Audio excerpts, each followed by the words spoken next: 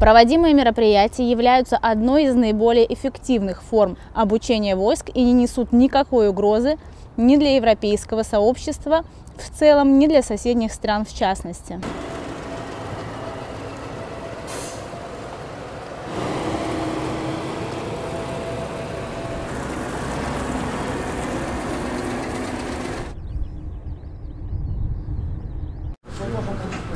Стесняйтесь тоже выходить. 3 часа 20 минут готовность к движению.